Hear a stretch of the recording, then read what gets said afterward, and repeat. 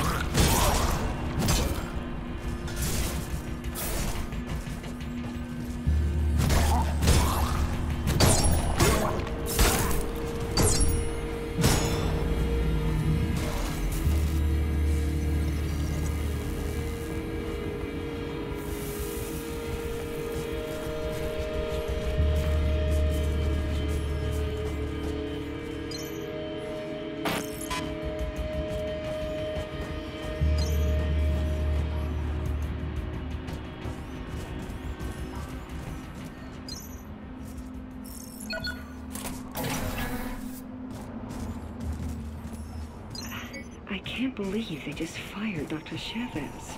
After the years of hard work and dedication she's put into this company. I, I suppose that's what you get when you stand up for your convictions. The worrying thing is, she's right. I've seen the data. We've got to keep working, now more than ever.